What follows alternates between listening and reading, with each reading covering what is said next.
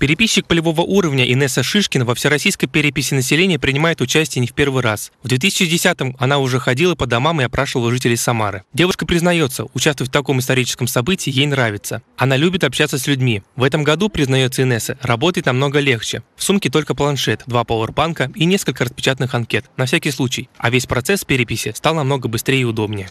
Портфель стал легче, это, во-первых. Во-вторых, э, стал планшет. Это намного удобнее, нежели э, чтобы ты ходила э, с переписными листами и как бы больше времени уходило на перепись.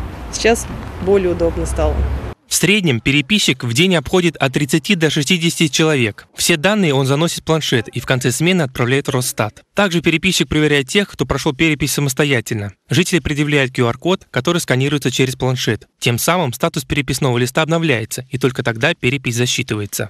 Это важно для нашей страны, это нужны нам эти данные для того, чтобы в дальнейшем а, можно проанализировать было состояние вообще жилых домов, а, то есть э, в каком, сколько у нас вообще населения и так далее, какое у нас образование. Принять участие в переписи населения можно до 14 ноября. Переписаться можно самостоятельно на портале госуслуг, на стационарном участке, либо с помощью переписчика. Никита Колосов, Константин Головин. События.